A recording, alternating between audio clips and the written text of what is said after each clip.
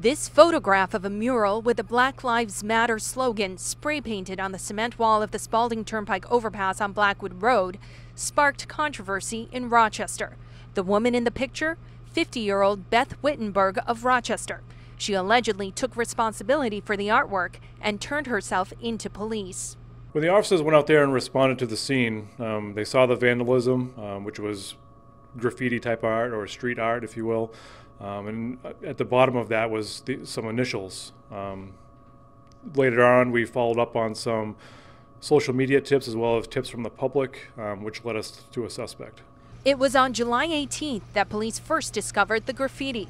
They used social media to help find the person responsible. It wasn't long before they were led to Wittenberg.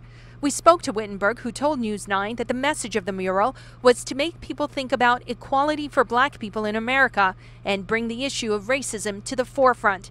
But because it was done on public property, police issued a warrant for Wittenberg's arrest.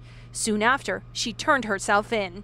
We treat this like any type of vandalism. Anytime vandalism is done to somebody else's property, in this case, damage was done to the state of New Hampshire. Um, we investigate it and then we charge accordingly. The state has already cleaned and repainted the wall, a cost that they say will ultimately be deferred to the taxpayers. Well, the overpass belongs to the state of New Hampshire. It's handled by the Department of Transportation. So, therefore, state funds have to be used to repair this. Now, Wittenberg declined our request for an on camera interview, saying that her lawyer advised her not to speak anymore to the media. She was released on $1,500 personal recognizance bail. She's due again in court for arraignment on August 15th. We are live in Rochester. Naoko Funayama, WMUR News 9.